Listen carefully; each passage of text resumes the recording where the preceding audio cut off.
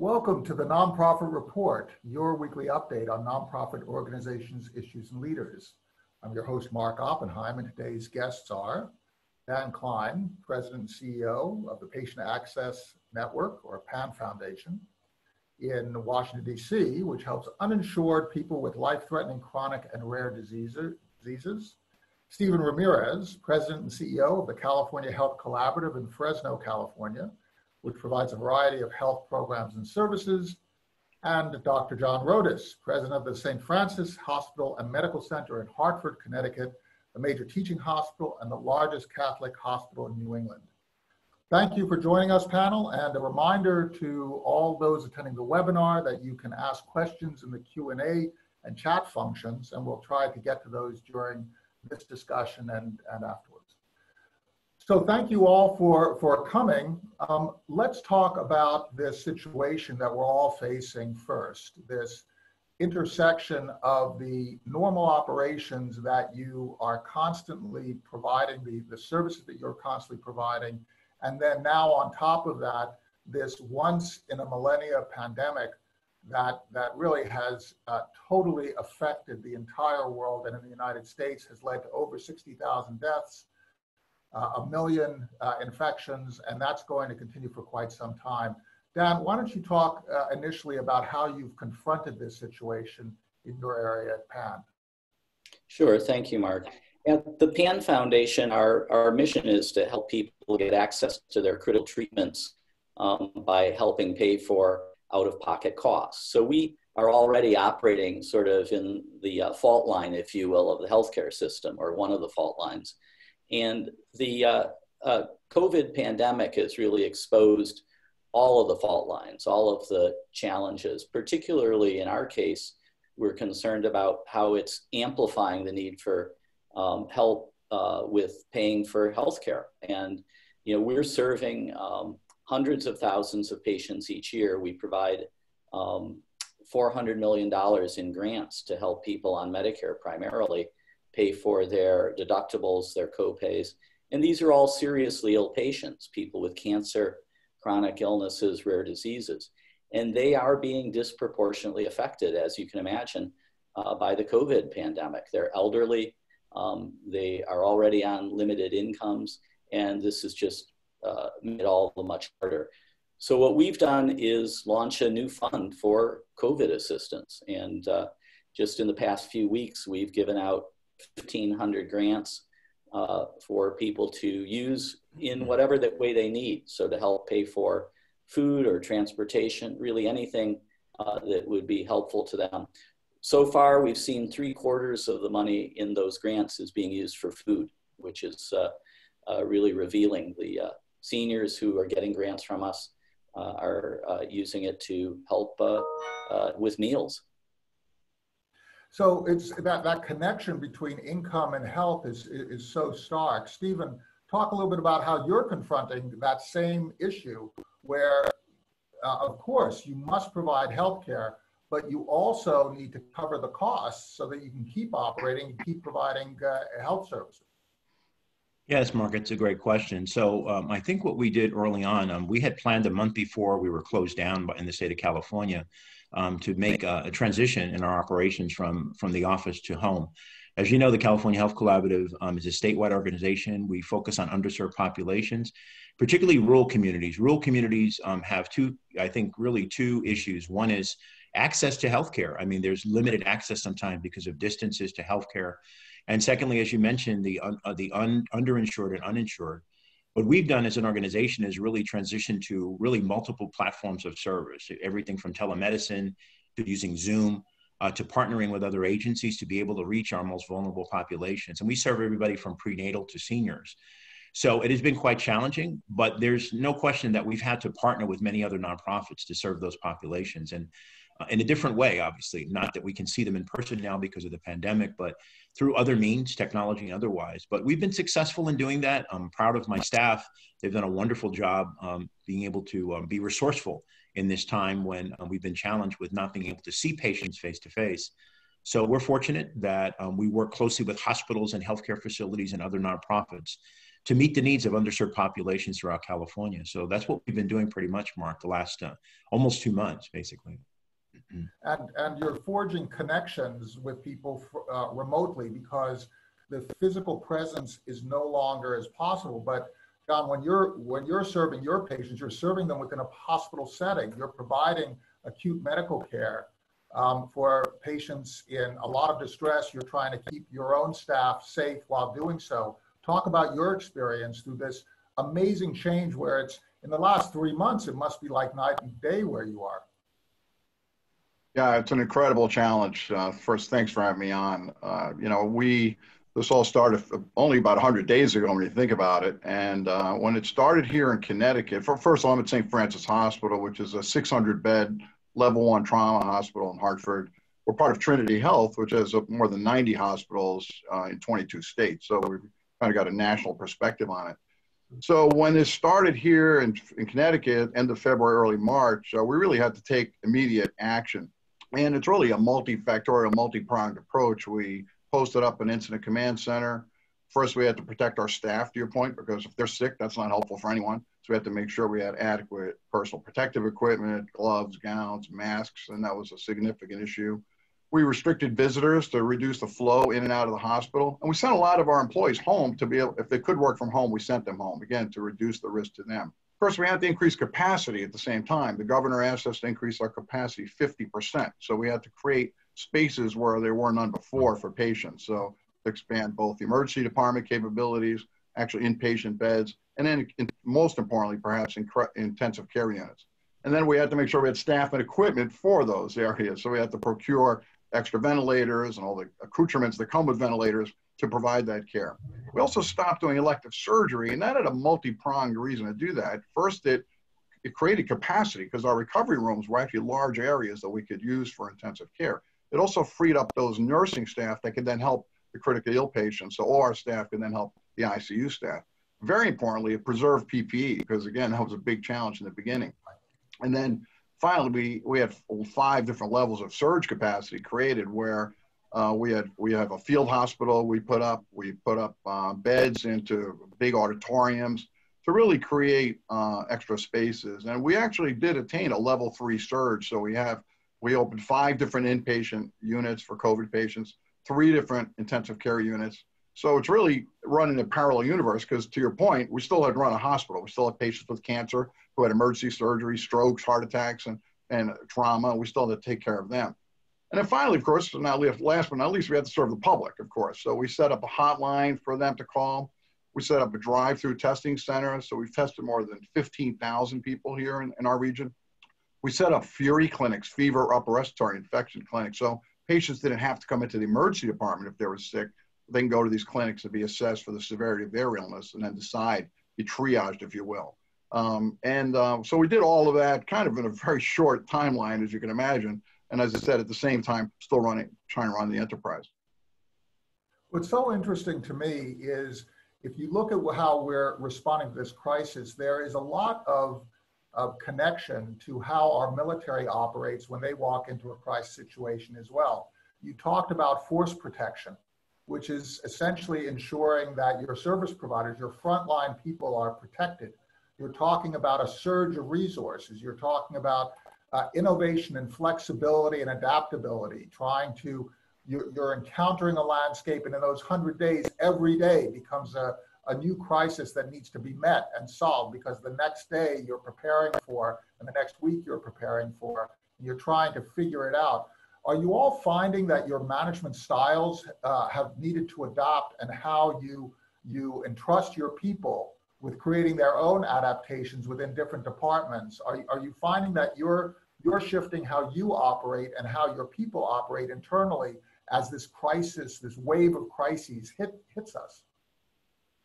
Well, in our case, um, in our case, you know, we're all working remotely and we've been able to uh, keep our uh, grant process running. So um, we've actually made more grants the beginning of this year than last year. And uh, particularly around, you know, January, February, March is when Medicare patients are really hit hard by out-of-pocket costs. So it's critical for us to keep our programs going for patients with cancer and chronic illnesses and rare diseases. Um, so our, our people have been able to do that. And we've added some uh, additional communications. We have a special newsletter we've added aimed at the pandemic and providing information for patients we serve. We've uh, added additional outreach to donors to try to bring in additional funds to support um, our COVID related uh, assistance program. And we've um, also uh, basically tried to just ramp up, um, you know, the uh, overall um, communication.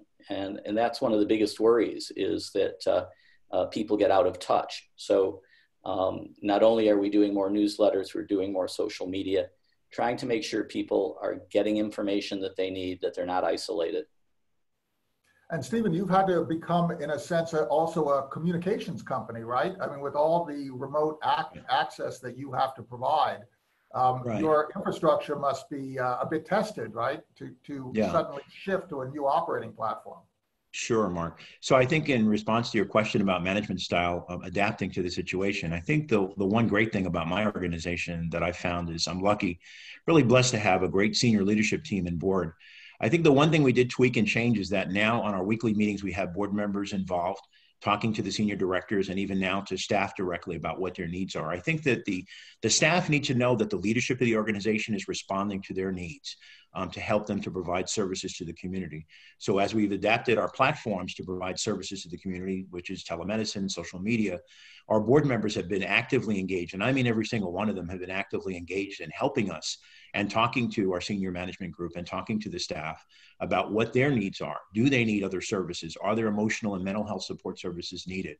So I think uh, things change in this sort of a scenario. And I know uh, Dr. Rodis and I had talked a little bit about how this impacts frontline workers. It also affects, you know, nonprofits who are providing human services in the community. There's a, a great stress on a lot of our staff for not only dealing with uh, the stress of, of the patients or the clients in the community, but also for themselves, you know, being in social isolation at times, not having the opportunity to work with their teammates. So those have all been great challenges that I'm, I'm proud to say that they've been able to overcome at this point. But we monitor that regularly, Mark. That is a weekly thing we talk about with our staff. So, um, so that's a good question that you brought up. And you're also helping people deal with fear. Right? Correct. We're all living with a lot of fear and nowhere more Right. than if you're providing frontline services and nowhere more than if you're in an, in an ER. Uh, John, Yeah. you had mentioned um, some of your concerns about ensuring that you deal with, with the trauma that people who are delivering trauma-related services themselves experience. Yeah, so first, let me just respond to the management style. Uh, by happenstance, I'm a high risk obstetrician, so dealing with kind of unforeseen emergencies is basically built into my DNA. And uh, I have to think over, I've used pretty much what I've learned over 40 years, uh, both as an obstetrician as well as just being a, a healthcare leader. It's all, it's all come to bear right now, to be honest with you, get through this. I- think that it's. Uh, I think Stephen's point's important. The, the challenges for our staff have been incredible. It's an incredibly. I, people can't really appreciate it until you walk through one of these units. Twelve-hour shifts, wearing all this protective garb. It seeing patients sicker than they've ever seen in their lives. So we've lost just just here St. Francis, we're 130 people. So there's a lot of death and a lot of dying, and it, with patients that are alone, which is makes it that much harder. So they're they've become the surrogate family member besides obviously the caregiver. Um, and I, I, think we're going to be dealing with that actually for a long time. We've done our best to try to uh, keep as positive as we can. We come around with with little carts uh, that with snacks, and they're like kids in a candy shop just to get a little bit of a respite. Um, but it's uh, incredibly challenging. We started playing lullabies overhead when a baby's born, just to remind them about that there's actually still good things and happy things that occur in, in the world because you can really lose perspective. In terms of the intersection of different conditions with this situation, we deal um, a, lot with, with MS, cystic fibrosis, ALS, there's heart cancer, and so on. There are a whole range of nonprofits, uh, immunocompromised uh, individuals, including uh, from AIDS and, and other uh, conditions. Um, how do you ensure that the level of care that is required by your normal uh, patients um, is is provided, John, in, in, terms of in terms of having to also uh, be concerned about um, about them coming in perhaps with uh, coronavirus infections. Testing, I understand, is is ramping up, but still not sort of where everybody would like it to be. How do you deal with that? Yeah, that's a great question. It's been an incredible challenge, to be honest with you, because, uh, and we've seen actually more people coming in with more advanced uh, situations because they're not coming in. They're either not coming in because they're afraid to come in and not get coronavirus infection, or they, they really don't have access to their providers. So I think the key there, uh, as was mentioned, actually, is ramping up our telehealth capabilities. So really reaching out to those patients of greatest needs and saying, hey, we're still here for you. What can we do? Making sure they're taking their medications and they're doing whatever they need to do. And, and telling them that we have safe areas, COVID safe areas, then the hospital, we've zoned off really half the emergency department as a COVID free, if you will, COVID safe zone, so that they still can come in if they need to. Uh, but it's a, that's a great point. I think that has been a significant issue. And we have seen more mortalities in the community. People have died at home, unfortunately, uh, not coming into the hospital. Do you all feel that this will result in a sustained change in your operations and in the in the interactions between the people you serve, uh, your donors, uh, for for example, Dan or uh, Stephen, in terms of your your network of nonprofits?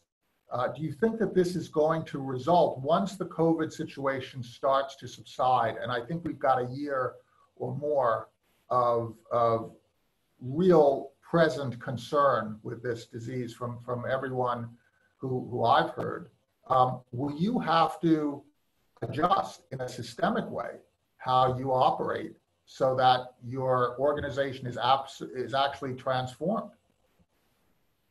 No, that's an interesting question because before the COVID crisis hit, there was already a lot of concern about um, out of pocket cost. And Senators Grassley and um, Speaker Pelosi had put forward bills not only to deal with um, the cost of drugs, but also to reduce out of pocket costs for patients.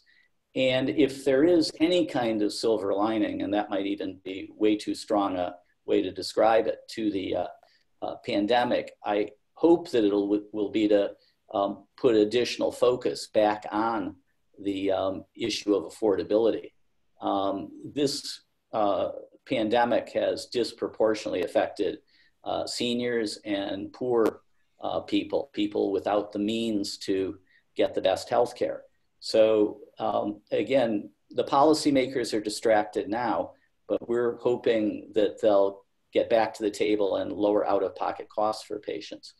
Um, you know, at, at, in the near term, our, our focus is on just trying to keep our 60 different assistance programs open because the cancer patients and the MS patients and the Parkinson's patients who we serve still need that help as well as needing additional help to um, uh, pay for food and transportation and other new expenses that have been added on top of their already you know, uh, challenging uh, financial situation.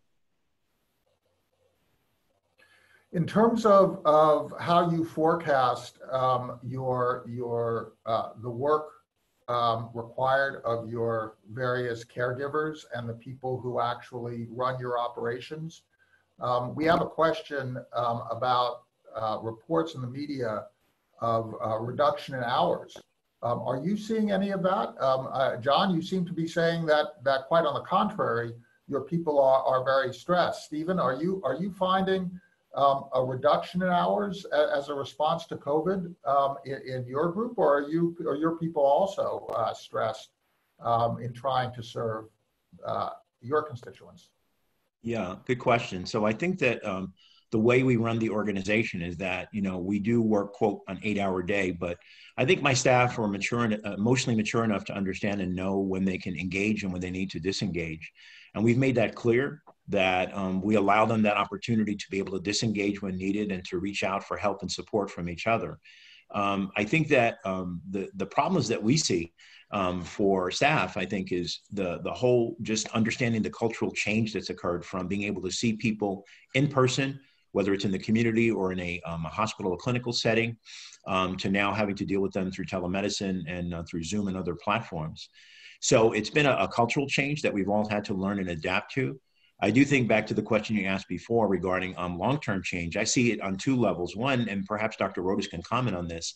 You know, hospital care systems are going to change, I hopefully dramatically. Some, hopefully, there'll be success stories of how they have worked regionally. I know in the state of New York, my hometown, the governor has asked hospitals to work on a regional basis to be able to work with each other about resources, supplies, hospital beds, equipment, maybe that is the model we need to look at more now is how do we operate healthcare systems on a regional or statewide basis rather than individual um, organizations? All due respect to boards of directors you know we have large constituencies we're trying to serve. So maybe you know there's a joint effort by hospitals to, to strategically plan and provide services in a region um, as opposed to the past where they were working in isolation but for us as an organization, the one thing that we'll adopt is a lot more social media platforms, a lot more telemedicine, a lot more um, opportunities to work with people um, through um, a, a, video platform. So that'll be a, a, a change we make that's permanent. Um, that won't be, we won't go back to um, some of the things we did before. We will still still have community engagement, but we will include the video pieces and the technology pieces. Those are critical. And more partnerships with other nonprofits and healthcare facilities because we realize that no one of us can serve our populations effectively. So. So there, there are a number of points that you've all made. One is telemedicine is here to stay, right? I mean, everybody agrees that it's that it's here to stay. That's going to result in a fundamental transformation also of the competencies required by organizations like all of yours, because you're all part of that puzzle. You've also talked about the mental health issue. Um, and so the division between physical and mental health uh, might be diminished uh, a bit going forward. And then we also have this idea that Stephen raised about partnerships. You know, we have this situation where it's become dreadfully obvious that when the least of us is not taken care of, in this particular case, the coronavirus being so infectious, it affects everybody. So there's this whole idea about how do we shift our ideas around healthcare from me, me, me to us, us, us.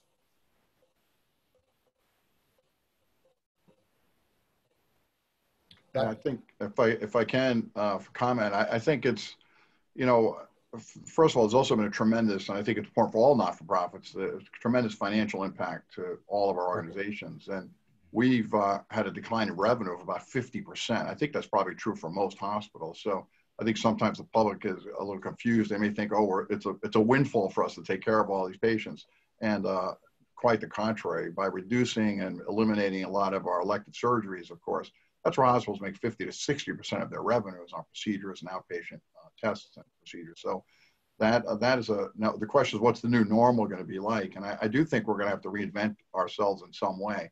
I think hospitals are going to be taking care of a lot just sicker patients, and I think a lot of other patients will seek care in out in outpatient settings and ambulatory surgery centers and endoscopy centers, infusion centers, and don't really come into the hospital for that. Our emergency department volume is down substantially, and I suspect that's going to last for quite a while because people have sought other ways to seek care, whether it's a teleconsult or an urgent care center outside of the hospital. Uh, so, I, so I think though, so we're going to have to be more efficient, uh, and I think we've we've strived here at St. Francis to be the the value provider, if you will, the good outcome, low cost provider. I think those providers going forward are going to be very very important to continue to bend the cost curve, uh, which is really not sustainable.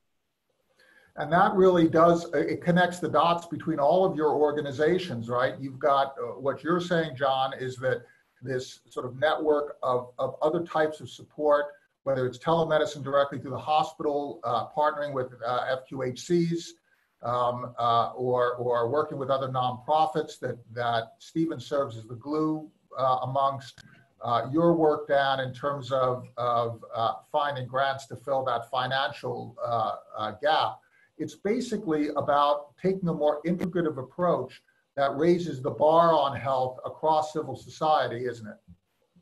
Yeah, I, I think that what the pandemic has done is really uh, pressure test the system and expose the fault lines. And the fault lines are, are wide. They're across the reimbursement system, they're across the delivery system.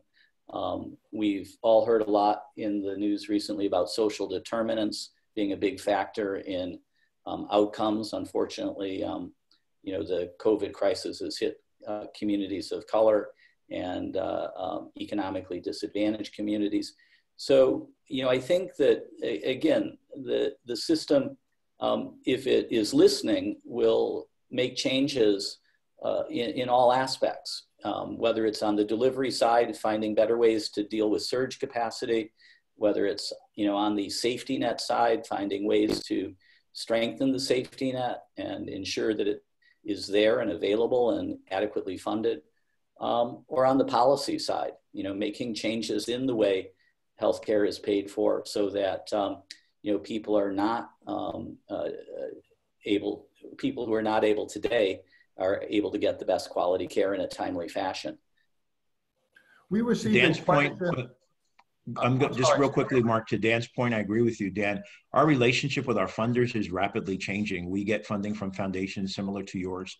And we've had to rethink our scope of work, our scope of practice, how we do business now as a result of this pandemic. And I think that will be forever changed. I don't think we'll be going back to the same old way. So it will reshape um, relationships we have with funders and providers in the community. So it's a good point. Thank you, Dan. Extending on that, I- we received a question which, which John, you might be in the best position to, to, to answer. The question is, beyond COVID, do we have to prepare for a world where these kinds of pandemics, these kinds of situations uh, crop up because we're so interconnected, crop up on a regular basis? Do you feel that, that, that that's really how we need to be thinking now? Yeah, I think ever since I read uh, John Barry's book about the 1918 uh, epidemic, to be honest with you, I've always been thinking uh, it's just a matter of time. And frankly, we've lived through already many of them. Uh, 2008, we had a, a massive uh, flu uh, epidemic throughout this country and the world. Uh, we've had SARS, we've had MERS, which managed to be contained, but they certainly could have easily spread. We've had Ebola. So I, I think, yeah, I think this is, and, and the difference between 1918 and today is that we're so much more of a global world, a global economy. Travel is so readily available. So uh, only because the war was going on then is how the disease spread. Uh, there'll be, you know, now it easily spreads as you've seen this spread. So yeah, we have to be prepared better than we were this time. Uh, and We again, I look for AIDS, public right? policy to help. Excuse me. we can go back to the origin of AIDS, right? I mean, origin of AIDS, which which theoretically uh, came from animals and was transmitted to humans. Um, I, I- I think maybe the way we need to look at this is is on a much broader scope and away from just our own backyard. And once we do that, and we we look at AIDS and we look at some of the the the, the, the Spanish flu, and this is all part of a continuum. It's just an acceleration, isn't it? Yeah, but I think this, the, the point that Dan made is important though too that we should emphasize that the comorbidities here, the patients, the patients who are dying aren't just old, have a lot of comorbidities, and of course the population that's poor tends to have those co- comorbidities, and we are seeing a racial disparity here in our deaths, particularly African Americans and Hispanics, diabetes, hypertension, obesity, heart disease, chronic lung disease. I'd like to think a take-home message from all of this might be, how about if we spend a little more time and effort on prevention of those chronic conditions which really ultimately is actually leading to people dying. Uh, the virus is just exposing that in our in our society. and we can Dr. do this, right? We can do this. We can we can solve these problems. You all, your people, the heroes on the front line, whether it's raising money for people without, or providing the services for people who are in need, or providing the direct services for people walking into the hospital with various conditions. You are the people who are solving this problem every day, and we will solve this problem together, won't we? We will. We will. We will. Thank you all so much. It's just been a real pleasure. Dan Klein of the Patient Access Network, the PAN Foundation, Stephen Ramirez, President and CEO of the California Health Collaborative in Fresno, and Dr. John Rodis, President of the St. Francis Hospital and Medical Center in Hartford, Connecticut. Thank you so much. Please thank your staffs. Stay safe and have a just, just a wonderful, wonderful week serving us. Thank you. Thank you, Mark. Thank, Thank you, you. Mark. Take care.